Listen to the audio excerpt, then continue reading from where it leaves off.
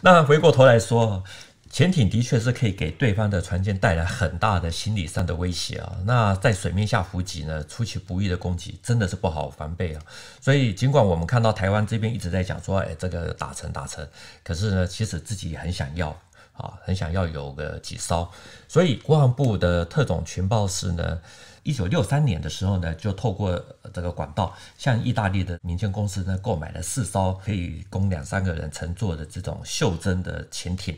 那另外还自行仿造了三艘，这也是台湾开始有潜艇的开始。老实讲，因为功能太差，而且有些验收是勉强通过，后来就几乎没办法执行任务。那千辛万苦取得的这些迷你袖珍潜艇呢，在一九七三年的十一月就除役了，那海昌部队也就解散。前后算一算，这样才十年呢，哎，是。不到差不多吧？对，不到。以军武装备来讲，这样其实服役的时间很短，对，还所以证明说它真的是很不适合台湾使用，是因为太小，然后有些刚刚讲的，就是有些验收是勉强通过，对。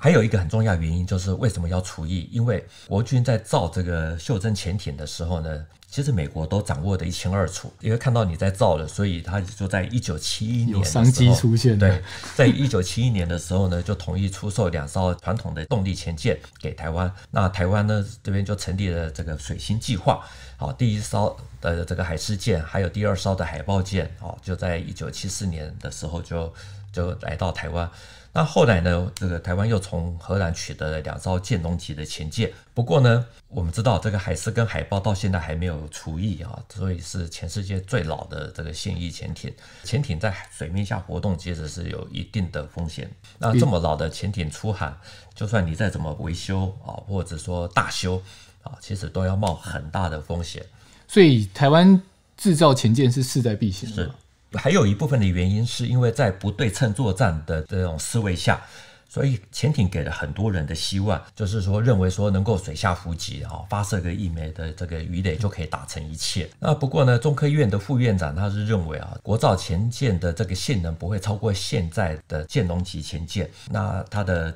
潜航的深度呢，最多就是两百公尺，就是这个极限的。但是呢，可以装备各式的鱼雷出任务。那也就是说，到了二零二五年的时候呢，台湾的国造潜舰呢，其实还是只能组装出这个一九八零年代的前舰水平，但是可以装备最新的鱼雷。对，对于这样子的这种说法呢，我们知道，其实所有的军武啊设备或者说军工产业，都是第一步都是要先解决从无到有啊。大陆如此，其实台湾也是如此。可是呢，只要有这个计划的走下去，总是能够缩小差距。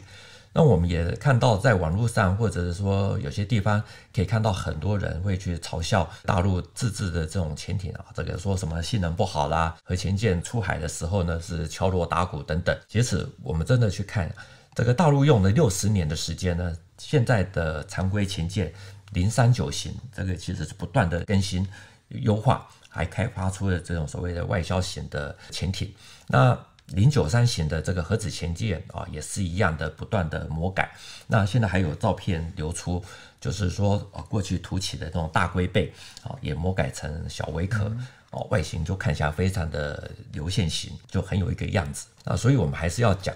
用正面的思维啊的角度去看待对方，不要自己还不能造啊，就一直在笑对手，因为贬义对手没办法把自己给抬高。好，这个自己的高度也没办法变得会更高。好，那就算要搞宣传啊，至少也要做到说，在战略上藐视敌人啊，在战术上要重视敌人啊。我们也希望后续的这个第二艘、第三艘的这个自制的这个潜舰能够一直的魔改，那台湾的军工人啊，也能够拿出一些成绩给大家看看，